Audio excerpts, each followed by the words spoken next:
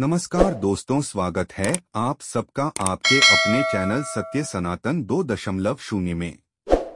श्री कृष्ण जन्माष्टमी का पर्व आने वाला है। मान्यता है कि जो भी इस दिन निम्नलिखित उपायों को करता है, उसके घर लक्ष्मी जी का सदैव वास होता है। उसके घर पर सुख समृद्धि, धन, वैभव, संपदा, किसी चीज़ की कभी भी कमी नहीं होती। इसलिए वीडियो को अंत तक अवश्य देखें। और कमेंट में क्लिंग कृष्णाय नमः अवश्य ही लिख दे। और भगवान श्री कृष्ण की बहन का नाम नीचे कमेंट में लिखे अगर श्री कृष्ण के भक्त है। कृष्ण जन्माष्टमी का त्योहार भाद्रपद माह के कृष्ण पक्ष की अष्टमी तिथि को मनाया जाता है। इस दिन मथुरा नगरी में असुर कंस के कारागृह में देवकी की आठवीं संतान के रूप में भगवान श्री कृष्ण ने जन्म लिया था। जन्माष्टमी के दिन घरों में झांकियाँ सजाई जाती है, भजन कीर्तन किए जाते हैं। कृष्ण भक्त व्रत कर बाल गोपाल का भव्य श्रृंगार करते हैं। रात्रि में 12 बजे कान्हा का जन्म कराया जाता है। इस साल जन्माष्टमी 6 और 7 सितंबर 2023 दोनों दिन मनाई जा रही है। आइए जाने पूजा मुहूर्त, विधि, मंत्र, चूँकि जन्माष्टमी दो दिन मनाई जा रही है, लेकिन गृहस्थ जीवन वाले 6 सितंबर 2023 को जन्माष्टमी का व्रत रखें। शास्त्रों के अनुसार, जिस दिन अष्टमी के साथ रोहिणी नक्षत्र का संयोग बन रहा हो, उस दिन जन्माष्टमी व्रत पूजन करना शुभ माना जाता है। रात्रि में 12 बजे कान्हा का जन्म कराया जाता है। ऐसे में 6 या 7 सितंबर जन्माष्टमी कब है? आइए जाने पूजा मुहूर्त, विधि, मंत्र, कृष्ण जन्माष्टमी का त्योहार भाद्रपद माह के कृष्ण पक्ष की अष्टमी तिथि को मनाया जाता है। कृष्ण जन्माष्टमी कितने बजे है? श्री कृष्ण पूजा का समय 6 सितंबर दो शून्य दो तीन, रात्रि ग्यारह दशमलव पाँच सात सात सितंबर 2023 प्रात बारह बजकर बयालीस मिनट। पूजा अवधि छियालीस मिनट। मध्यरात्रि का क्षण प्रात बारह दशमलव शून्य दो।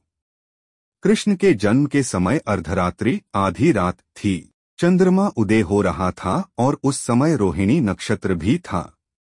यही वजह है कि कान्हा का जन्मोत्सव मनाने के लिए इन तीनों योगों पर विचार किया जाता है। इस साल जन्माष्टमी पर रोहिणी नक्षत्र 6 सितंबर 2023 को सुबह शून्य नौ डॉट बीस से शुरू होगा और अगले दिन 7 सितंबर 2023 को सुबह दस बजकर पच्चीस मिनट इसका समापन होगा। क्या जन्माष्टमी दो दिन तक मनाई जाती है? स्मार्त और वैष्णव संप्रदाय अलग अलग तिथि होने पर जन्माष्टमी अलग अलग मनाते हैं। जन्माष्टमी की पहली तिथि पर स्मार्त और दूसरी तिथि पर वैष्णव संप्रदाय के लोग पूजा करते हैं। जन्माष्टमी पूजा विधि। कृष्ण जन्माष्टमी के दिन सूर्योदय से व्रत शुरू किया जाता है और पूजन के बाद या फिर अगले दिन सूर्योदय के पश्चात व्रत का पारण करते हैं। इस व्रत को करने वाले को चाहिए कि व्रत से एक दिन पूर्व सप्तमी को हल्का तथा सात्विक भोजन करें।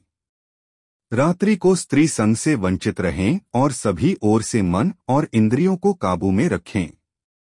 उपवास वाले दिन प्रातः स्नान आदि से निवृत्त होकर व्रत का संकल्प लें। शाम के समय पूजा स्थल पर झांकी सजाएँ। देवकी जी के लिए प्रसूति गृह बनाएँ। लड्डू गोपाल को झूले पर स्थापित करें।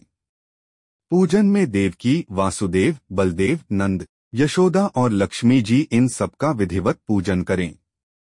बाल गोपाल का श्रृंगार करें। रात को 12 बजे शंख तथा घंटी बजाकर कान्हा का जन्म कराएँ। खीरा ज़रूर काटें। बाल गोपाल को भोग लगाएँ।